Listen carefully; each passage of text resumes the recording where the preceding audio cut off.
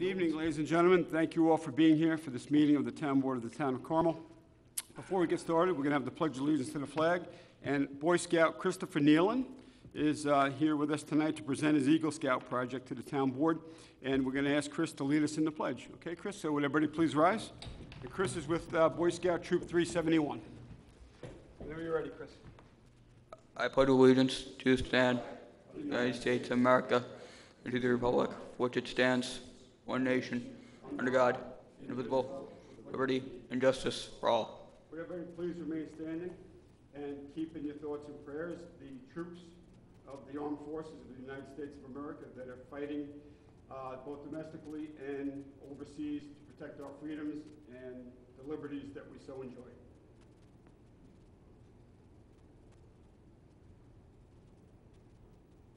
Okay, thank you.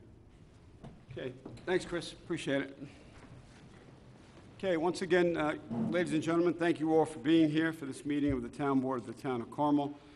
Tonight's uh, Town Board meeting, we actually have two, two meetings tonight. The first meeting is the Town Board voting meeting. This is a special voting meeting that was announced. We have uh, six, five um, authorizing resolutions for settlement of litigation, and one resolution in support of New York State Department of Environmental Conservation, regulation of natural gas and infra- infrastructure facilities. For the record, all town board members are present this evening, as is Ann Spofford, our town clerk, all the way down here to my right. All the way down to my left is Greg Fulchetti, he's the Carmel Town Counsel. And Jimmy Gilchrist, our Recreation Director, is, is with us uh, this evening as well. So, um, the, at the 7, 7 PM voting meeting is, the first resolution is a resolution authorizing settlement of litigation. And Councilman Schneider, would you read resolution number one, please? Whereas there is currently pending in the Supreme Court, County of Putnam, State of New York, under index number 1536-2015 and 1170-2016, certain lawsuits entitled Jezebel Enterprises LLC versus the Town of Carmel regarding the tax assessments for the property known and designated Town of Carmel Tax Map Number 44.14-1-13, and whereas a proposed settlement of the litigation has been negotiated by Glenn Drosy, Town Assessor, and Special Counsel Richard Blancato, both of whom have recommended approval of the proposed settlement.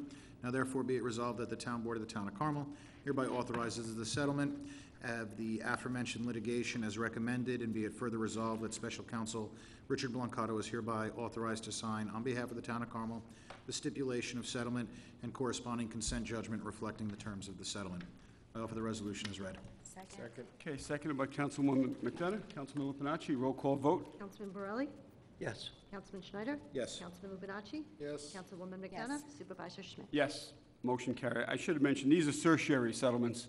This is where um, a property owner challenged the assessments on their property, and uh, it went before uh, the Putnam County Supreme Court, and it was settled through a litigation between the uh, the applicant's attorney and the attorney for the town of Carmel negotiated the settlement. So that's what these are. There's actually one, two, three, four of them on for tonight. So when you hear these settlement and litigation, it's connected to certiorari challenges in court.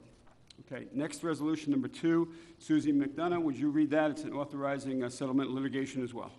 Whereas there is currently pending in the Supreme Court, County of Putnam, State of New York, under index number 1091/2016 and 500484/2017, certain lawsuits entitled Rifkin Group LLC versus the Town of Carmel regarding the tax assessments for the property known and designated Town of Carmel Tax Map Number 55.11-1-1. And whereas a proposed settlement of the litigation has been negotiated by Glenn Drosy, Town Assessor, and Special Counsel Richard Blancato, both of whom have recommended approval of the proposed settlement. Now therefore be it resolved that the Town Board of the Town of Carmel hereby authorizes the settlement of the, uh, of the aforementioned litigation as recommended. And be further resolved that Special Counsel Richard Blancato is hereby authorized to sign on behalf of the Town of Carmel the stipulation of settlement and corresponding s- consent judgment reflecting the terms of the settlement. I offer this resolution as read. Second. Okay, seconded by Councilman Lupinacci, roll call vote. Councilman Borelli? Yes. Councilman Schneider? Yes. Councilman Lupinacci? Yes. Councilwoman McDonough? Yes. Supervisor Schmidt? Yes, motion carried. Okay, next uh, certiorari settlement, number three, uh, authorizing settlement. Councilman Lupinacci, would you read three, please? Whereas they're currently pending in the Supreme Court, County of Putnam, State of New York, under index number 1094/2016 and 500492/2017, certain lawsuits entitled Bittman, uh, Mahopac LLC versus the Town of Carmel regarding the town assessment for the properties known and designated Town of Carmel tax map, tax map number seventy-six point nine three sixty-eight point seven one and sixty, I'm sorry, seventy-six point nine three sixty-eight point seventy-two, and whereas a proposed settlement of the litigation has been negotiated by Glenn DeRosie, Town Assessor, and the Special Counsel, Richard Blancato, both of whom have recommended approval of the proposed settlement. Now therefore be it resolved that the Town Board of Town of Carmel hereby authorizes the settlement of the aforementioned litigation as recommended, and be it further resolved that Special Counsel Richard Blancato is hereby authorized to sign on behalf of the Town of Carmel a stipulation of settlement and corresponding consent judgment reflecting the terms of the settlement. I offer this resolution as read. Second. Okay, seconded by Councilman Borelli. Roll call vote. Councilman Borelli? Yes. Councilman Schneider? Yes. Councilman Lupinacci? Yes, Councilwoman McDonough? Yes. Supervisor Schmidt? Yes. Motion carried. Okay, number four, uh, Councilman Borelli, would you read uh, this settlement, please? Whereas there is currently pending in the Supreme Court, County of Putnam, State of New York, under index number 500487-2017, certain lawsuit entitled Shalini Barnwall versus Town of Carmel regarding tax assessments for the property known and designated Town of Carmel Tax Map Number 44.15-1-37. And whereas a proposed settlement of litigation has been negotiated by Glenn Drosy, Town Assessor, and Special Counsel Richard Blancato, both of whom have recommended approval of the proposed settlement. Now therefore be it resolved that the Town Board of the Town of Carmel hereby authorizes the settlement of the aforementioned litigation as recommended, and be it further resolved that Special Counsel Richard Blancato is hereby authorized to sign on behalf of the Town of Carmel a stipulation of settlement and corresponding consent judgment reflecting the terms of the settlement. I offer this resolution as read. second, Okay, seconded by Councilman Lupinacci. Roll call vote. Councilman Borelli? Yes. Councilman Schneider? Yes. Councilman Lupinacci? yes, Councilwoman McDonough? Yes. Supervisor Schmidt? Yes, motion carried. Okay, next resolution, number five, is uh, not part of any uh, certiorari settlement of litigation. It is settlement of litigation, but it's not connected to any certiorari or tax challenges. So, Councilman Schneider, would you read five, please? So, resolution authorizing settlement of litigation, whereas there is currently pending against the Town of Carmel a certain claim lawsuit entitled Robert Erickson Jr. versus the Town of Carmel, and whereas a proposed settlement of the claim has been negotiated by Labor Counsel Jackson Lewis LLP, who has recommended approval of the proposed settlement.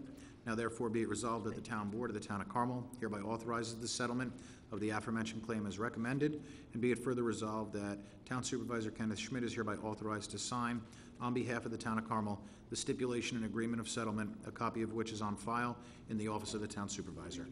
I offer this resolution as read. Second? Okay, seconded by Councilwoman McDonough. Roll call vote, please. Councilman Borelli? Yes. Councilman Schneider? Yes. Councilman Lupinacci? yes, Councilwoman McDonough? Yes. Supervisor Schmidt? Yes, motion carried. Thank- six. Can you go further? Okay. All right, next resolution, number six, is a resolution in support of New York State Department of Environmental Conservation Regulation of Natural Gas Infrastructure Facilities. Councilwoman McDonough, you could start reading it, but if you get tired, I'll pass it over this way. Yep, can we do whereas- as pre-filed? No, I I think, Ray. I don't have a problem with you doing it as pre-filed. I, I think that uh, you would pass this at the request of one of the- the residents and the Yeah, I think constituents, we- who had uh, an opportunity to speak about it if you want to give give it an a- opportunity. a, a broad outline in it, Yeah, sir? They can Yeah. certainly okay, Ready? Okay. yeah, okay. Whereas the Carmel Town Board has a principal responsibility to protect the health and safety of its residents, businesses, and institutions. And whereas the people environment of New York have been increasingly subjected to build-out of natural gas infrastructure, including but not limited to pipelines and distribution networks, compressor stations, power plants, combustion heating systems, metering and regulation stations, and pigging stations. And whereas peer-reviewed scientific studies link exposures between air pollutants emitted from natural gas infrastructure facilities and neurological, cardiovascular, and respiratory disease, cancer, birth defects, and other adverse health impacts. Acute health impacts from these toxic exposures can cause burning eyes, headaches, breathing difficulties, and nausea for nearby populations and can exacerbate, health problems. Chronic health impacts can include certain types of cancer as well as damage to lungs, liver, kidneys, reproductive, nervous, and cardiovascular systems. And whereas the American Medical Association and the Medical So- Society of the State of New York acknowledge the hazards of natural gas infrastructure and associated adverse health impacts in past resolution in 2015, calling for health impact assessments, I- HIAs.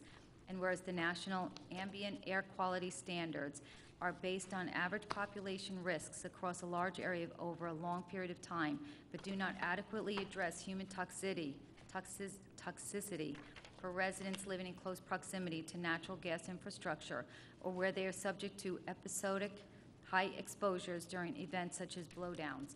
And whereas current protocols used for assessing compliance with ambient air quality standards do not adequately determine inten- intensity, frequency of durations, frequency or durations of actual human exposures to pollutants and mixtures of pollutants emitted from natural gas infrastructure, noting that periodic 24-hour average measures can underestimate actual exposure by an order of magnitude. And Whereas gas infrastructure facilities can emit into the air annually hundreds of tons of pollutants, including toxic chemicals and cri- and criteria pollutants, some of which are known carcin- carcinogens, like benzene and formo- how do you pronounce that? Formaldehyde? Maldehyde. and can also be sources of radioactive contamination. And whereas people who live or work in close proximity to natural gas infrastructure facilities, such as compressor stations, are most at risk, particularly developing fetuses, children, the elderly, and those with cardiovascular, lung, or respiratory problems, and other vulnerable subpopulations. Although under certain weather and terrain conditions, these pollutants can have a wider impact and whereas developing fetuses and children are uniquely vulnerable to exposures as they, as they receive proportionately greater doses of pollutants than adults and have immature organs and detoxification systems. And whereas methane is an extremely potent greenhouse gas with a global warming potential that is 34 times that of carbon dioxide over a 100-year time frame, and 86 times that of carbon dioxide, over a 20-year time frame. And whereas methane is the primary ingredient of natural gas and leaks at every system stage, including extraction, processing, transmission, distribution, and end-use consumption. And whereas the New York State Department of Environmental Conservation regulations do not currently require best available control technology or lowest achievable emissions rate technology for facilities that are not designed, designated under Federal Title V requirements are not located within non attainment areas, although such requirements could substantially reduce hazardous air emissions. And whereas the DEC does not require the use of emission control technologies for all gas infrastructure facilities that would provide a floor of protection and could significantly reduce emissions, even when such technology has become standard practice within the industry or is readily available. And whereas the DEC does not require continuous air monitoring of pollutants or methane in real time for gas infrastructure facilities, even though the technology to do so is now readily available, nor does the DEC require that such data be made available to the public. And whereas the DEC determines compliance with regulatory requirements and permit conditions through self-reporting by the industry without independent verification. And And whereas the DEC does not require rigorous inspection of gas infrastructure facilities to detect and eliminate natural gas leakage at gas infrastru- infrastructure facilities, and whereas the DEC lacks requirements for advancement notification of all planned blowdowns or other chemical releases, and for notification immediately following all unplanned blowdowns or other chemical releases in order for residents, public officials, and first responders to take prompt emergency action. And whereas the DEC exempts many emission sources that exist at gas infrastructure sites from regulation requirements and lacks adequate regulatory requirements for non-combustion emission sources. And whereas the DEC does not require a sufficiently protective set of best management practices for the gas infrastructure facilities to ensure protection of public health, safety, and the environment. And whereas the DEC does not require the timely replacement or retrofit of technology and the update of site practices for existing gas infrastructure facilities to ensure appropriate consistency with requirements for new projects and adherence to current best management practices. And whereas the U.S. Environmental Protection Agency hosts a voluntary natural gas star program for partner companies to implement technologies and practices for the reduction of methane emissions and document results. And whereas the DEC State Environmental Quality Review, also known as SEQR, process for gas infrastructure projects does not adequately address greenhouse gases and climate impacts. And whereas the DEC has announced that it intends to rewrite or revise oil and gas regulations which can be more stringent than federal requirements. Therefore, be it resolved that the Town of Carmel Town Board, in the interest of protecting its residents, businesses, and institutions, strongly urges the New York State Department of Environmental Conservation, the DEC, to adopt the following regulatory requirements.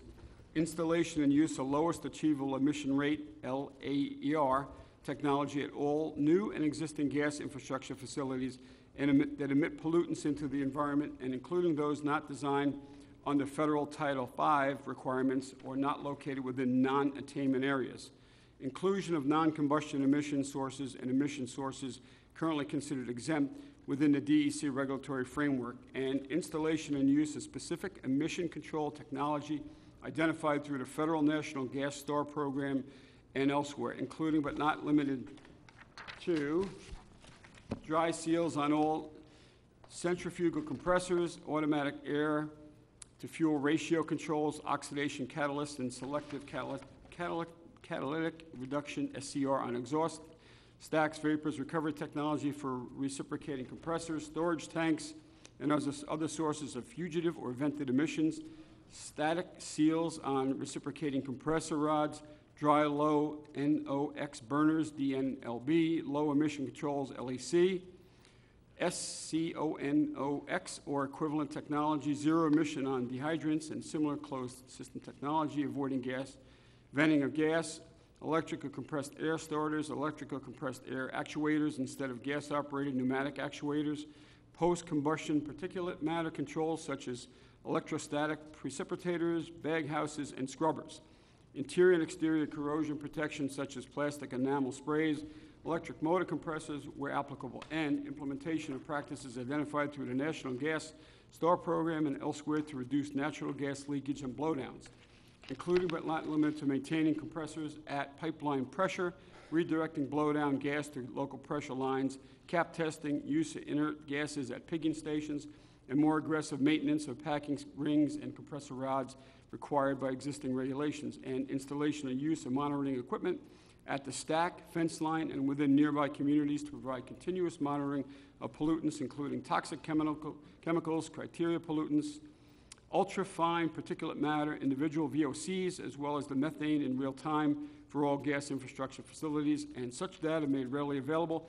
to the public, such as by online access, and on-site verification of compliance with regulatory requirements and permit conditions by independent registered inspectors through scheduled and random visits, and rigorous quarterly inspection by independent registered personnel with regular reports submitted to the DEC and made available to the public to detect and ensure timely elimination of natural gas leaks at gas infrastructure facilities using the compressive detection methods such as aerial and ground-level laser methane assessment, organic vapor analyzers, OVAs, toxic vapor analyzers, TVAs, sorbent tubes, SUMMA can- canisters, infrared cameras, as well as real-time monitoring with Fourier transform infrared FTIR, spectroscopy, and other remote sensing along pipelines, and 48-hour greater advance notification to any village trustees, town board, city council, county legislature requesting at all, plan- at all planned blowdowns, regardless of size, and other chemical releases, notification within 30 minutes of all unplanned blowdowns,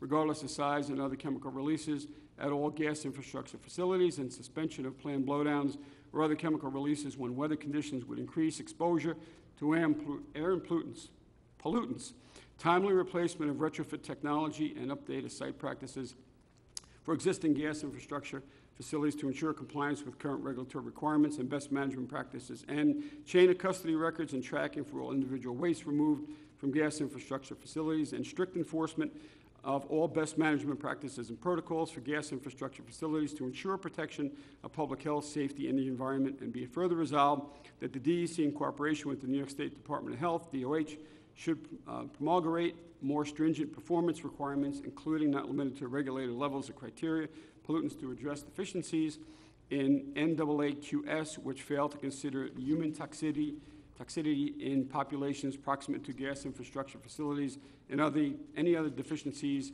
affecting public health, safety, and environment protection.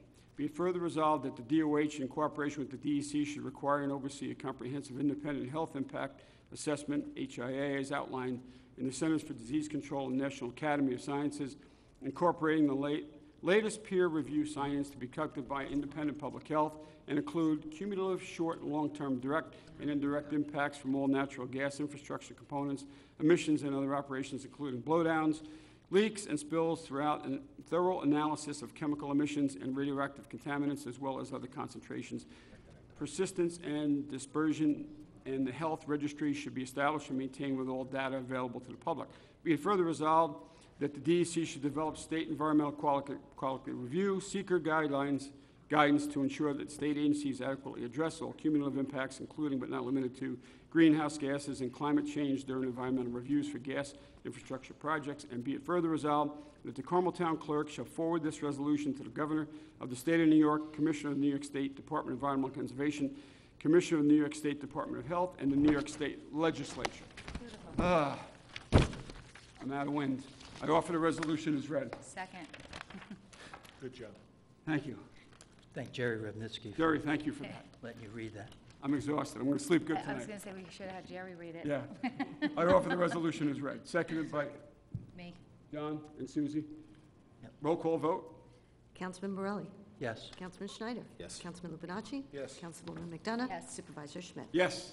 Motion carried. Thank you. Thank you, Jerry. I hope you got all that. I hope everybody did.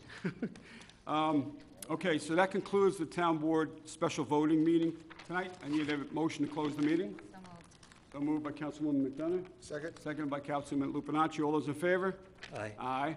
I need a motion to open the work session. So moved. So moved by Susie, Second? seconded by Councilman Lupinacci. All those in favor? Aye. Aye. Okay, the work session is now open. And the first item on Thank you, the ma'am. work session agenda is review of the town board minutes You as well. of June 6th, 13th, and 20th, 2018. Um, Everybody good with the minutes? We'll go on. Okay, first item on the work session agenda, Jerry, I'll wait till the end and public comment will be on everything, all right? Um, EMS Administrator Tanner Patterson, we got this the other day. Uh, Consider request for letter of support to operate a basic life support response service. Uh, They current, the town of Patterson created their own uh, EMS corps. They, they have their own ambulance service now for the town of Patterson. Originally, um, when they applied for it, they were given a temporary ambulance certificate to operate, and that's been for the past 15 months. Now they must apply to New York State DOH to convert the certificate to permanent status. To that end, the town requests your assistance through a letter of support. So they're asking for a letter of support from all the town boards, and I think the villages in, in Putnam County as well, uh, supporting that, um, that the New York State DOH grant a permanent license to operate emergency medical service in the town of Patterson. Yes. Occasionally, they will be called, they'll be called mutual aid, or they'll be called to assist other towns in the county. So I think that's why they're reaching out to, to us, the town of Carmel, for this, because they may, at some point, be asked to respond here. So that's why they included, I believe, all the towns. They're looking for more support. I don't particularly have a problem with it. Greg, is there any issue with this that you can? It would be a letter of support only if the board is in favor of their recognition as a permanent unit. All right, I, I don't have a problem with that. Town board, Any? anybody have any comments, questions, concerns about this? No, Down here, problem. Mike, John? Okay. All right, so we'll do that. Grant the letter of support. All right, next, Mike Building Codes Enforcement, consider request to authorize cleanup of various properties. The other day, Mike uh, gave me a list of three properties that uh, he had requested that we clean up under the Property Compliance Code for the town of Carmel. There were three, it's down to two now. Oh, okay. Because the one, the one, the one property was cleaned up over the weekend, The fact I stopped by where they were cleaning it up, and I asked them to, to please make sure that this is done either on a weekly or every 10-day basis, you know, much, the, the grass was a foot and a half tall, two feet tall, so everything was overgrown, they trimmed everything back, cleaned it up, and they're gonna continue. According to the gentleman I spoke to, it's on his list to do uh, either every week or every 10 days, I believe he said it was. So that one was removed. So we have two on here, uh, 66 Orchard Road, I believe that's in in Lake Secor section of town, and 39 McAlpin Avenue is right up the street here. It's, it's, as you go around the, the the historical building in the center of the road, it's the property on the right-hand side as you make the turn to go through the, around the building. The gentleman uh, that owned that house passed away last year, and um, I don't know the status of the property, and, and I, I think right now, it's in, it's in an estate, and that the estate's not caring for the property, so Mike has asked if we can, he's gotten complaints from neighbors, and people live in close proximity to that house. It's in really bad shape, it's overgrown, everything is, it really needs to be, be cleaned up. So that's, tho- those are the two that the building inspector's asking the town board approve to be cleaned up. And then we collect our money back, whatever we paid, there's a lien put on the property, and whenever the pop- property transacts, Greg, am I right? The town will be part of that, that judgment or that lien on the property? What happens is, is if the board authorizes the, uh, the cleanup activity, uh, building inspector will send an invoice to the property owner uh, for the, for the uh, cost incurred. If that bill is not paid within 30 days, uh, the building inspector can then file an affidavit with the town clerk to that effect as to what the extent of the work that was done, uh, the cost, the fact that the owner was billed and that no payment has been received yet.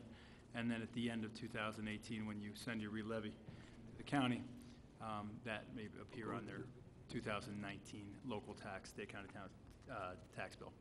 Um, So it's not necessarily waiting for a transaction, it's actually paid on the, it's invoiced on the bill, which if it's not paid, as you know, uh, the town, the town has its levy satisfied by the county in any event, and then the county would go after Thank the you, homeowner if that's the case. Okay, very good. Thank you for that. Any questions, comments, concerns about these uh, property cleanups? We've done them before? All right, okay. All right, next is uh, James Gilchrist, Director of Recreation and Parks, Eagle Scout candidate Christopher Nealon. Chris led us in the pledge earlier. This, uh, they're here to discuss Christopher's Boy Scout Troop 371 Eagle Scout project. It's a chess table at Chamber Park. Jim? We met with uh, Chris earlier this year at the recreation community and uh, went over a number of uh, different recreation projects. And uh, Chris picked this one. Uh, We've been talking about this for probably the last two years. Uh, Down in New York City, you might see a lot of the city parks where they have game tables scattered around the parks. So we were looking to put at least one of those out there, to see how it works, and maybe bring another table, you know, if, uh, if needed in the future. Uh, These are, it's a concrete product, so it's purchased and maintenance free, um, and also with vandalism, uh, it's pretty hard to vandalize things. Uh, and it- it- what it is, it's a chess table that can be played with, play checkers, chess, or just happen to have lunch and, and and sit on the concrete. So I'll let Chris, uh, go through his project and his fundraising and all that. Uh, fundraising, we have been, we've been doing it, we've been doing bake sales in front of stores, Turbo's, and, uh, Acme. And the project will be four feet underground, we're putting a spawning tube into the table. And and for the, we will be putting a rat, rat bar in in there, and, uh, it will be made of concrete, from making a place called concrete plastic.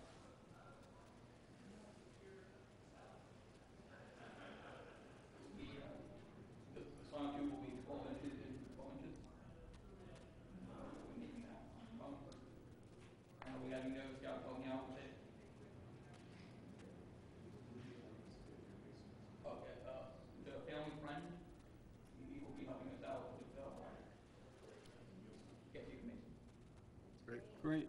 Wonderful. Sounds like I- it's a I can't wonderful wait to project. play. Yeah, I don't play chess, though. It's gonna have to be checkers for me. yeah. The, uh, the board doesn't have pieces, right? It- Residents will have to bring their own pieces, bring a clock if you want. Si- Yeah, exactly, similar to uh, Bobby Fischer? searching for Bobby Fish. Exactly. But yeah, I think it's, uh, it's spectacular. Every place I've ever seen these in any parks, always well-received. People out there all the time. Um, So I, I think it's going to be a great addition. Yeah, Thank you, Chris.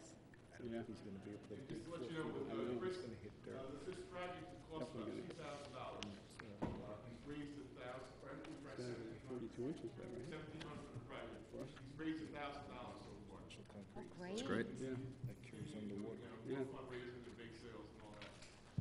Uh, It, it was very expensive to actually get the Almost ship at from war. the from the manufacturer. The tabletop is is a pretty standard tabletop. Uh, We'll we'll be um, pouring the concrete pedestal from the table, and then the Post hole tools diggers. came from, It's you. from the factory. So that, that's where a lot of the cost was in the shipping and and getting those. All right, great. All right. Thank you. It will be done uh, very, very, very soon. It- It'll be done, um, I would say by the end of, uh, end of July, it'll be all set. Oh, wow, That's nice. spectacular. Wow, okay. You guys all saw the location? Yeah, Yes. Yes, yeah. And in that location, there's no uh, irrigation, and you guys will uh, point out where the... Irrigation and electrical wires throughout the entire park.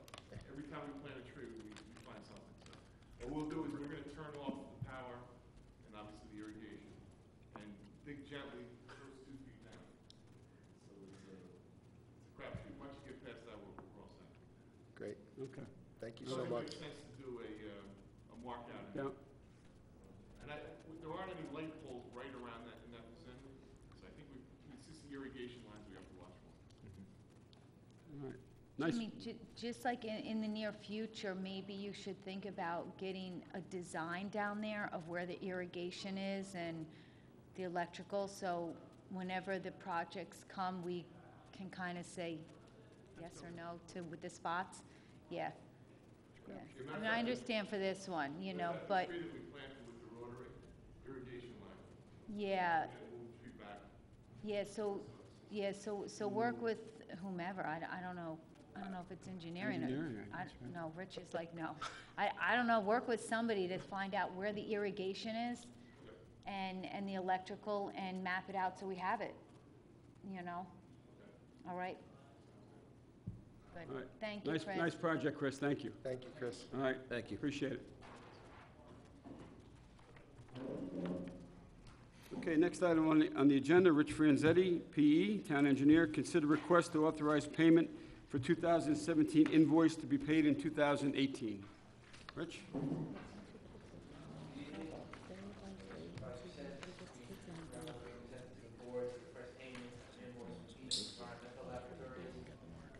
not billed the town of Carl with San Francisco in August of 2017, despite there to be a reconciliation that is conformed with all our vendors.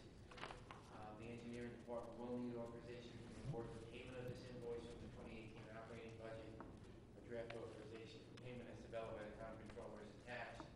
The net amount of the invoice is $3,205 from the expenses allocated over the various water and sewer districts. Uh, as indicated provided in the memo, controller is advised of this expenditure, and there are sufficient funds in the budget for payment of this uh, invoice. Okay. We have to pay it. Just miss it. Yeah, just, uh, Rich, just let them know that they, to, to submit these invoices on a more timely manner, you know, Yes, we will. so we can, The controller and Donna and everybody had sent emails out trying to write this out close to Yep. the end of 2017, and these guys still didn't get us that invoice in time, so we can leave the horse before it's in time. Yeah. We Can't get them to drink, but we will try to stay on top of it next year. I wonder, Luckily, it's moving small forward, if we can put something in the contracts that if we request, you know, reconciliation and they don't do it and we have to pay them, you know, that there's a penalty to it, like a five percent penalty, that obviously they give us. There a deadline for submitting bills? You know, like they have to submit their, their bills within thirty days. You know, And especially if it goes past the, Eight months, um, nine months later. the end of year. Okay. Oh, no, no, no, I saw you writing. Yep, thank you. great suggestion, good, Hey, thanks. I like it. All right. I finally agree with something you Yeah, said. yeah, I know. Six oh, years, Oh, finally. Finally. Oh, it's easy. I'm on a Good roll. job. You are, you are, yes, you are. All right, any more questions, comments? The engineer on this item? Nope. Nope. Being none, the last item is Rich Franzetti You also. Consider request to connect to Carmel Sewer District Number One uh, sewer main for tax map number 75.12-1-14 and 75.12-1-15. Rich? So as Supervisor mentioned, this is for five thirty-four, five forty Route six. Uh, late last year and in January of this year, we received a request from the property owners, request to connect in Homes with District One. They are Milestones Family Realty and they have on Analytical respectively. Review of the files on the property, uh, show that these properties are in Homes with District One, District ends at five thirty-four Route six, Milestones Family Realty. And record show that both properties are paying capital taxes and per the tax assessor, both properties have been paying O and M tax since two thousand and two. The department was requested during the discussion with the supervisor to estimate those provide these connections, to provide these employees or these businesses with connections. Uh, We provided the tax. Oh, he is connected. How are we running a line from there? It's already connected. Okay. Sewer line, That's what I was gonna ask. three manholes, two service laterals, work and restoration. Uh, 16 years. Right away. Yeah. Smoke, the smoke time controller, and there are not sufficient funds. He probably has a problem. for this Project. That's not a dentist building. Authorizes the extension of the sewer line to all property owners. A map plan, a report, and public hearing will be required as well as authorized. Make sense for that, makes sense for that.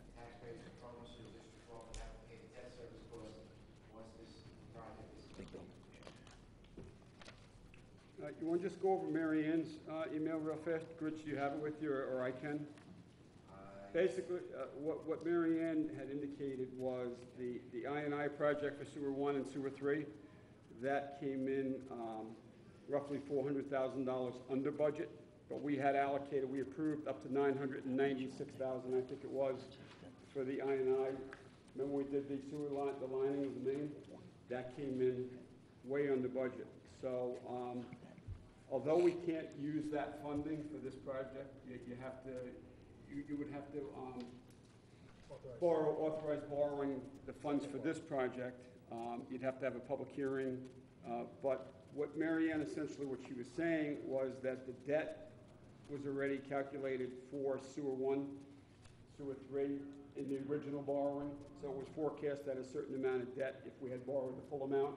But because it came in under, well, under budget by about roughly four hundred and something thousand dollars, four hundred and eighty-six thousand dollars, that, um, even though it would be debt to sewer one, that debt was anticipated with the original project. So we're under that budget. So essentially, if, if we borrow and I think we should, if we borrow to provide access to a sewer main for these two properties, because they've been paying uh, capital costs, they're in the sewer district, they've been paying capital and O and M for 27 years, thinking that they had access to the main if their, if their subsurface sewer septic systems fail, they can just get a tap permit and tap into the main. So it's not as easy as that, because the main was never run from the corner of Mary Avenue and Route 6 up to, to service these two properties. So there, there is, there's no main currently that, that is accessible by those two properties. It would have to be run up the shoulder of Route 6, allowing them access. So, you know, based on the fact that they, they were part of the original district boundaries when the district was created, they felt that they should be in the district, and the one property owner was of the belief that, that the main was out on Route 6, that they could just easily get a tap permit from the engineering department and tap into the main to access the main. But that's not the case, as Rich explained. The main terminates somewhere over near Mary Avenue and, and Route 6 on the corner by Clark Place. So it would have to be run up the shoulder of the road to access those two properties. Now, it's interesting, the building just past where the second building is, I think it, it was the Gorlick Building, I believe, professional building. That's outside of the district. That was never part of the, the sewer district, but these two properties were part of the sewer district. You tell me the animal hospitals is one of these buildings. It is. The animal, the Mahopac Animal Hospital is one of these buildings, and the building, North of it. the Yeah. building just Well, past. I'm very familiar with the I building know, north of I it. know. And they've been paying for, since 1991, they've been paying sewer capital I costs know- I and know O and that M. too. You know that too. Because you paid it. So, you know, in, in- in fairness to those property owners, they're, they're asking now, or, well, they're both asking to access the sewer main, to hook up to it. And I think the right thing to do, and the fair thing to do, is go ahead with this project, get some estimates, Rich, or, you know, get some, Rich, there's no way of tying in these two buildings on their private property up to that manhole too? No, there is not, because you have to, you have to, uh, we haven't looked into that, because we would have to run the line up, we didn't really look into going behind the back, and going into that other manhole, so no, we did not look into that. Because there's got to be a lot, a lot more cheaper ways to tie in two buildings. So the idea was to put in an eight-inch line along Route six, Yeah, so. I mean, you're doing it the right way, but it's only if it tie in two buildings. I mean, do you really need an eight-inch line? Right, the eight-inch line theoretically could tie in a couple other, you know, buildings if they wanted to tie in themselves, if they're out of district, they could do it themselves to get in there. The eight-inch line affords that other people to get into the sewer district, which is why you would do it, if, like you said, the right way, is to add the larger line. Rich, how did, how did the one, the one property that's at the bottom of Mary Avenue, I think it was a tile place, Yeah. that sold tiles? Strictly tile, it's still. How, how did they, they're connected to the main, how did they, how did they? Their line runs, my understanding from the drawings, they run to that manhole, they discharge into that. It's right there, it's 20 feet off the manhole. So it's, they just ran a lateral to the manhole. Yeah. These, the yellow line is proposed where the line's gonna go, so there's no manhole in front of Strictly Tile now. They cut across Mary Hill and hook up in front of the old record shop. Liquor store, maybe for other people who don't remember the record shop. Okay, so they, they actually cut under Mary right now. This is gonna extend an eight-inch line down another four hundred plus feet? Correct, get, get those two properties in. Okay. And I, while it is pretty expensive, Mike, I 100% agree, it's pretty expensive for two properties. If we're talking about the future expansion of Sewer District 1, trying to negotiate things with the city, and our entire intent is to continue down Route 6, That was, that was my thought, John. yeah, might as, well you know, it, it does stink. Two properties for 170 is a lot of money, Right, That's a lot of but money. How for the how did future. we leave with the city of New York? When are they supposed to get back to us? I mean, that, they were supposed to come back to us, right? Yeah, they're coming back to us. With a Yeah. proposal. Yeah, they're coming back to us. I mean, it's not gonna cost us anything to go out to see what this is gonna be, but it's, uh,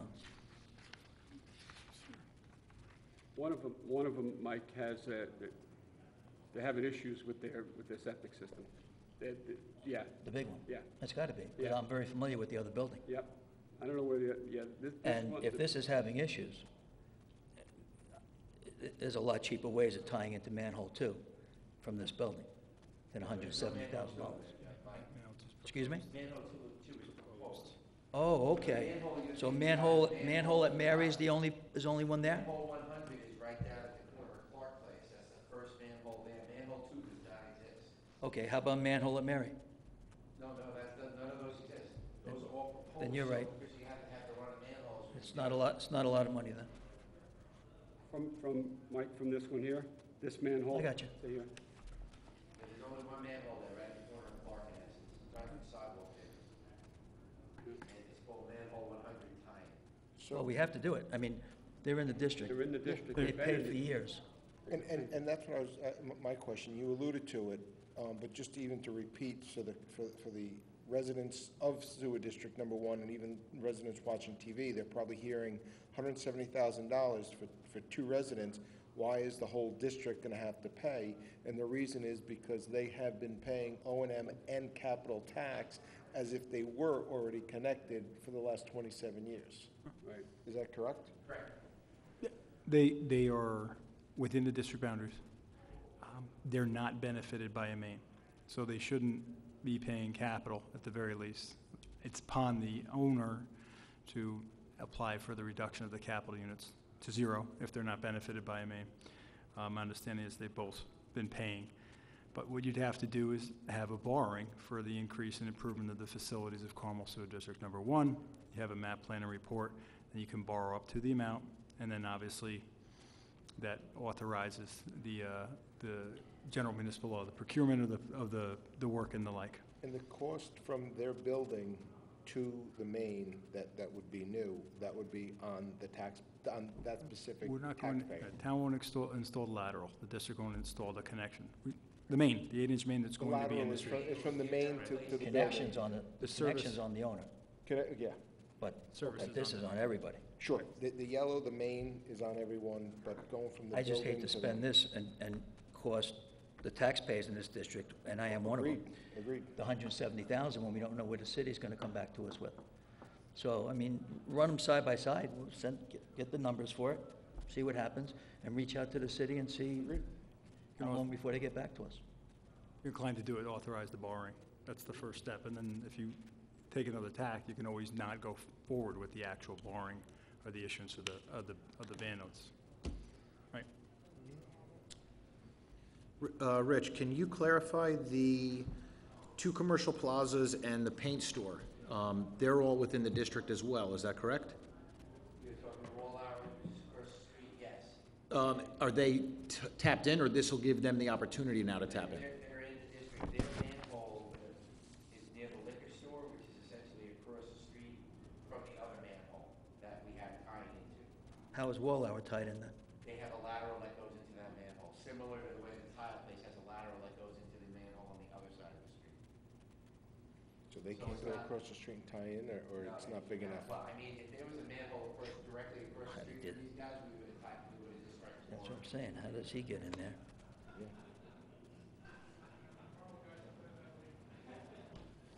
So, where- Rich, on, on the opposite side of the street, where, where is the, uh, the Nearest. main, the main end? It's a little further down, it's, it's in front of the liquor store there, where Okay. the seafood is, it's in that grass area there. All right, so there's a lateral from Wallauer to that main. Correct. You know, back in the day, you know, Merlino probably had something run yeah. before the, before that store was built, Yeah, knowing the next door neighbor, yeah, when it was easy to do things. yeah. Yep. You're right. I know. Rich, would you be able to research those alternatives and see if there is going to be a less expensive way? I mean, I'm okay authorizing the borrowing, but I'd like to have all the information before actually going through and taking, taking money into hand and start paying debt on it. Who- Who owns the wall Wallauer lateral? I'm sorry, I, I- who owns the wall? Who owns the wall Wallauer lateral, considering it goes over three sex, three sections of property? Wallauer's, I don't know that, it's not the town that owns. That's a strange one. It is. I mean, I, Mike, I, I don't, I can double check the drawings on that, board members, I can double check the drawings on that. So you're telling me the liquor store has to tie into that lateral too? Well, no, the liquor store has a manhole proximate to it, they tie right into the main. The main is further down, it's, and there's a terminal manhole on that side of the street also.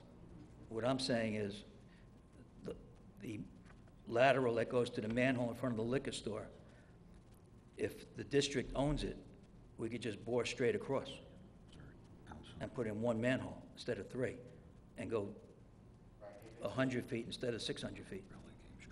If the, if it's a lateral, we can't have more than one connection on a lateral. That's all what our code reads. It makes it a main. If it's, if it's a main, right, if it's a main. It makes it a main. eight inch line, six inch line, four inch line. Well, that's, that's what I'm asking. I don't know what's over there, Mike, I, I'd have to research that, I don't have the answer Okay. for you for that, but I can certainly get back to the board on what is there, if there are any records of what is. Yeah, I'd just like to make sure it's not an eight-inch right across the street before we, I I agree with you, but we know that that manhole is too far down to do that, and you're still dealing with the New York State DOT and working in either the right of way or with, you know, within, within the, uh, not just the right of way, you don't wanna be entering into the, uh, the road with that. So, I mean, I can look into that, but I don't know what's the protocol. He's Let me find that out. if there's a lateral from here, This is going to be. this is Wallauer. That's Wallauer, liquor store, the seafood place, and that's the, uh, the mess. And the manhole, the manhole is right here. And he goes all the way over to here to this manhole right there, on that side of the street. You don't see the manhole on that side of the street. This is it? Right here? So, Rich, you, how long do you think it'll take for you to research that um, paint store's lateral and the uh, alternatives that may exist from just doing 400-plus feet of an eight-inch pipe? I mean, I'll, look at it over the next two days, I'm on vacation over next week, so I will, you know, I will look at it, I'll just Rob will look at it out of the office, see what we got, I don't know what we have record-wise. Okay. Um, As we well know, from histories of other connections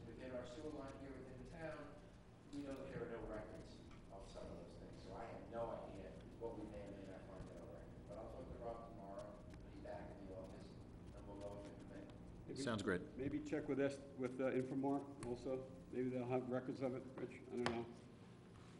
Uh, I will certainly check that. Okay, My guess is they have what we give them, but I will certainly check, see if they have any additional insight and can afford any additional information. because it would be nice, as Councilman Borelli stated, that if there was a larger diameter lateral running that way, it would be a lot easier boring. I completely agree, my guess is it's not, but Yeah. happens, yeah. yeah. Okay, Meanwhile, I put in a focus line to just get my one building in, if I save money, and doing it, you know, years ago. But we'll look, we can certainly look at the information that we have. you want, wh- while Rich is researching this, do you want to do a resolution authorizing the borrowing? It'd still be okay authorizing, because even if it comes back, that it'll only be half of it, we can always uh, just say, we're only gonna borrow this much. Right. But at least we'll be authorized to the limit. Mike, you are okay with that? I'm sorry, I didn't And hear. authorizing resolution Yeah, borrowing the second. money? Yeah, Okay, go John? write them side by Okay, side. All right, okay. Map, plan, and report needs to go Map- along with it. District borrowing, Nat, map plan and report, which doesn't have to be voluminous, but there has to be. a- engineering? Yep. All right, Rich, can you take care of that? So we have some of the information here with regards to what would be for a map plan report is not hundred percent, but we certainly have some of the information. Because you need to identify what's going to be per, uh, you know, uh, taxpayer there, so that's something Mary Ann can work on, we certainly can pull together the info. Right. Once the board moves on. We're close. Okay, okay, all right. All right, Thank you, Rich. Am I good? Thank you. all right, thanks, Rich. Enjoy your time away. Thanks, Rich. All right. Okay, that, that concludes the um, town board work session for this evening. Is there any members of the public that would like to come up and comment? You can comment either on the voting meeting or the work session items, either, either meeting, Karen. Because we went right through from the voting meeting. Uh, Jerry Revnitsky. Uh, I wanted to thank uh, Susie and Ken for taking on the monumental task of reading that resolution, and for the town board members for supporting it. More Ken than Susie. What? I'm sorry, Said go ahead. more him than I me. said more Ken than Susie, but Yeah, I knew I was going to get a slap in the arm. yeah. I I, uh, just wanted to mention that uh, there were a number of uh, experts that were consulted before this was finalized. There were numerous drafts, probably at least 15, 20 drafts before we finalized this, but we had experts uh, in pipelines, in nuclear uh, science, uh, in uh, engineering, and physicists working on this, and uh, finally, we were able to come to an agreement where everyone agreed that this was the best we can come up with. Good. Uh, I did want to add something. Um, I don't know if uh, you're aware that the uh, pipeline uh, safety study, the risk assessment, uh, has been released, although they didn't release the entire uh, report. They released what they're calling an executive summary, and they said that they can't release the entire report because it would be too dangerous uh, for anyone to have that kind of information. I guess they were figuring they could be terrorists or whatever, and it, um, but they did release uh, a summary, and um, from from the summary, uh, four state agencies. Uh, uh, Homeland Security and Emergency Services, Department of Public Service, Environmental Conservation, and Health Department issued a letter to Federal Energy Regulatory Commission, FERC, uh, and uh, they addressed some of the concerns within that study, and uh, they are, in essence, really blaming FERC for a lot of the problems but they are saying they need to take action to make it safer, that it's uh, uh, very safe. Now, you may remember that a risk assessment was originally requested about five years ago by uh, the uh, SAPE organization, um, and we uh, tried to get them to do the risk assessment before they approved it and they refused. The DEC approved it without uh, doing a risk assessment, and FERC also did not do it. Now they're finding out they should have done it, and it was extreme, extremely risky. Uh, There are risks uh, not only from the 42-inch high-pressure pipeline that they installed and put across the Hudson, but there's two other pipelines in Indian Point, uh, under, they, I believe they are both under uh, the nuclear plant. They built right over the pipeline when they built the plant. Uh, Nowadays, they wouldn't have allowed it, but they did then. And they're saying there's also danger because those are old pipes and they may not last that much longer. We don't know what's going to happen if they break and cause an explosion. Um, and uh, they said that uh, FERC needs to monitor this, uh, to check on it regularly, because the company claimed that they can shut off the gas within three minutes of an explosion. Uh, I don't think that has ever happened any place in the United States. Anytime there's been explosions, it's usually taken them about an hour or two, or more sometimes, to shut off the flow of gas. Um, So there, the state is now saying, uh, you need to do regu- uh, regular inspections to make sure that that is possible.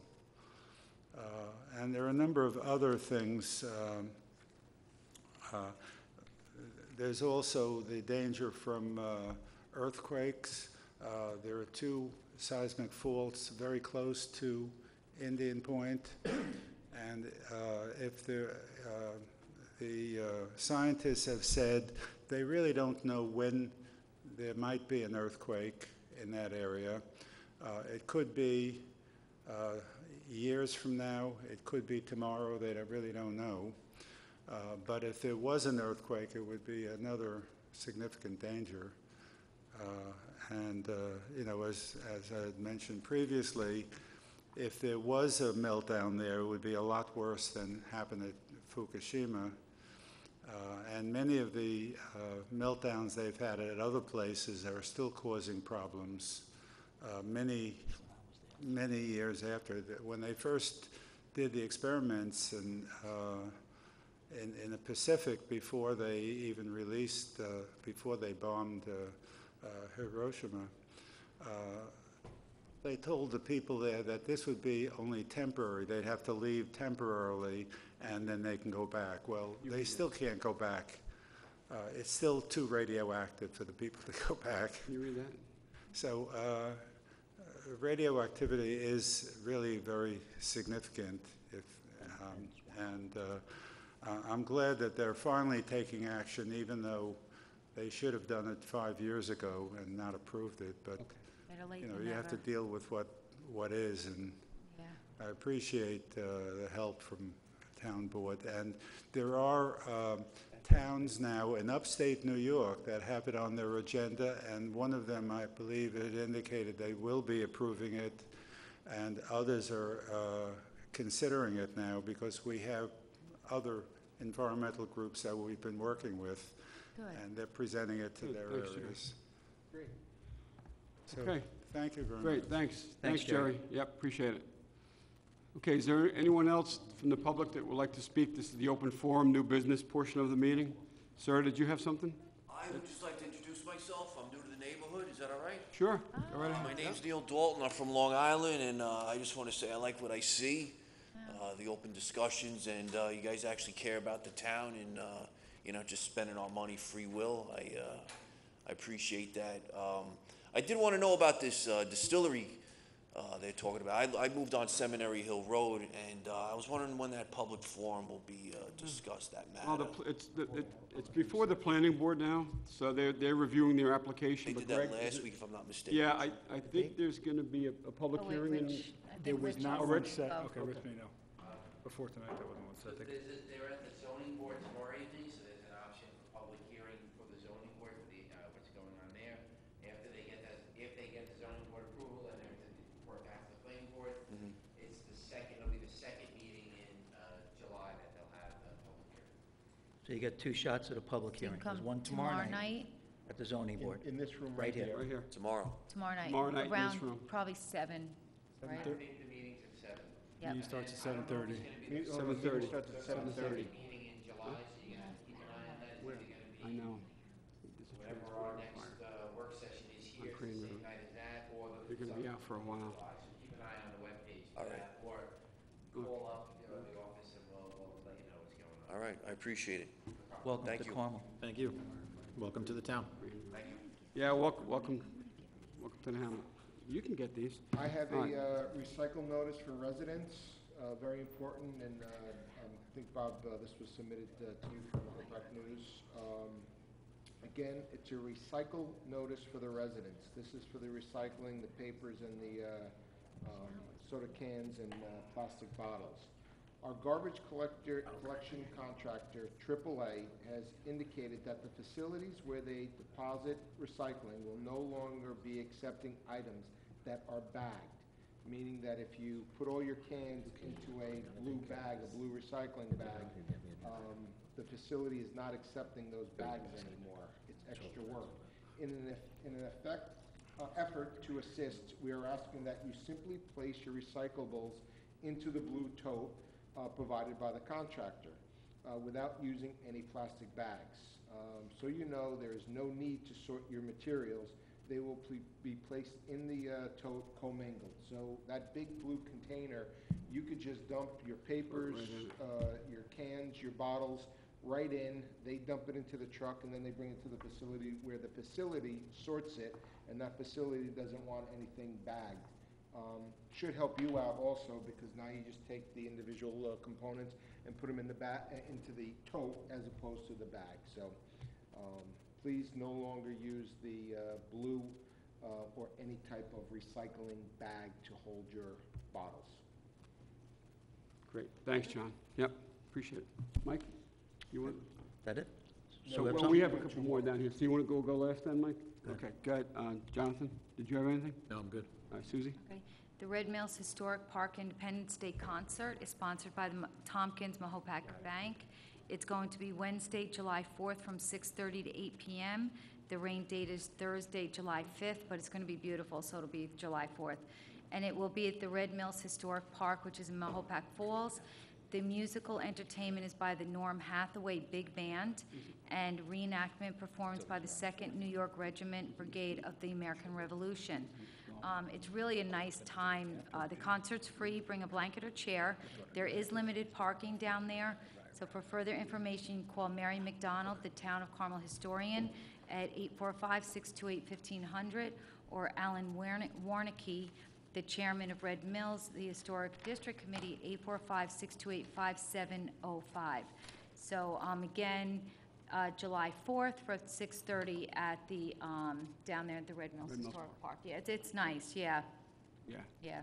it's a nice event. It really Yep. is. Yeah. Okay, thanks, Susie.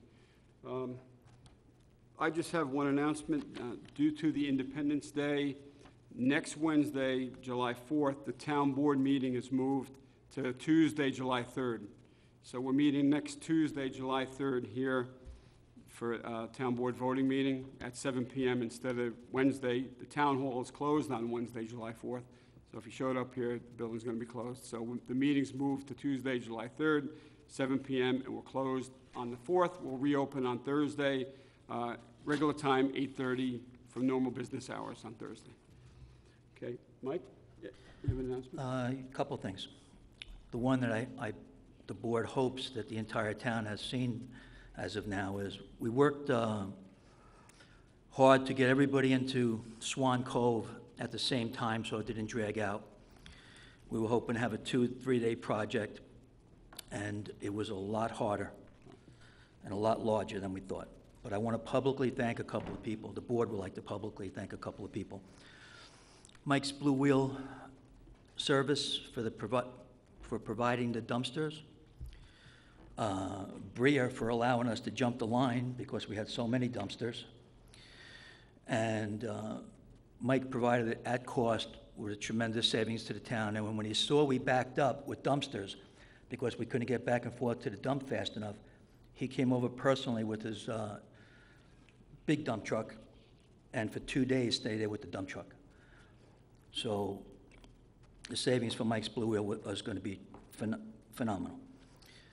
The big one are the large machines that were provided by the Ferrari family.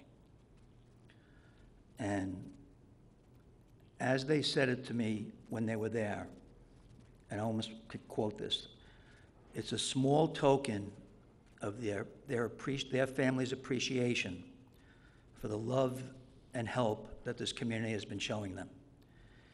And to remind everybody, they still need the love, the hope, and the prayers, because there are still two of their children missing in Idaho.